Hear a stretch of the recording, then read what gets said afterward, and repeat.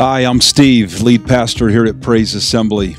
I wanted to take a moment and talk with you about the speakers right here in our worship center. We have discovered that our speakers are at their end of life. They're not working as efficiently as they once did.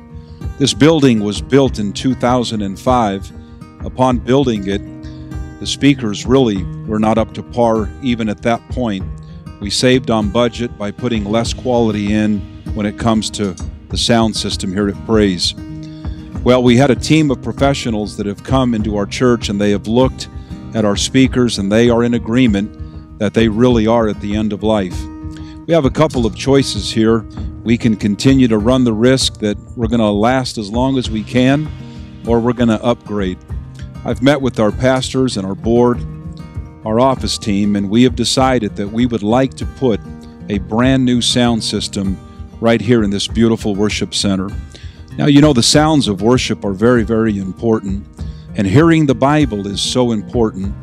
We have learned over the last several decades, really, in this building, we have learned that there are a lot of places in this room that are very loud, and other places, well, there's almost a muffled sound.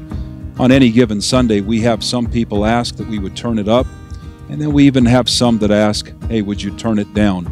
There's a reason for that. In this worship center, there are only two speakers. Our media team has done a fantastic job in trying to put the sound where it needs to be. But you know what? These speakers are just not wired to do that in a building this big. There are 1,300 seats in here, and for two speakers, that's quite a job. So here's what I want to bring to you today. I want to tell you that we're going to ask to partner with you on putting in an entire new sound system in here at Praise Assembly. It's going to cost us, it's going to cost a lot, but we're ready to take that challenge. It's going to cost about $300,000 for us to make that happen. With this new project and this new professional team that we are working with, we are going to bring not two, but 34 speakers. Now, that may be kind of scary for some of you. You may think that sounds like it's going to be loud. My friend, it's not going to be loud. It's going to be clear and it's going to be clean. Our goal is to put the same amount of sound throughout the entirety of this worship center.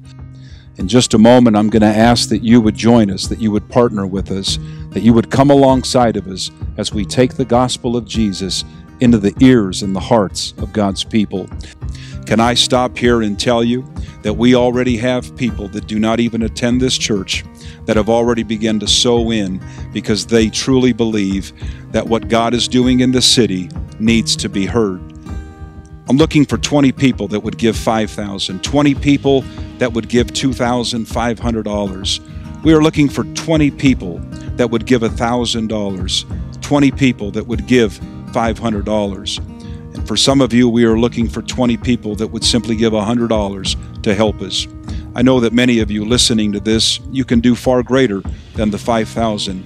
And today I want to call on you and I want to ask you, will you help us? When it comes to helping us with this project, you know, there's really several ways that you can give. You can give in person uh, on any given Sunday. You can come by the office and you can drop it off. You can give online. You can even text to give. What's really important is that we understand that we're in this together. Let's make the sounds of praise sound so beautifully in the ears of God. We need your help. I want to thank you for being the kind of church that has always taken these projects and you've always worked right along with us. We've done it together. You know, through the years, we have climbed so many mountains. There's another mountain in front of us right here. What do you say that we climb it? Let's climb it all for the glory of Jesus Christ.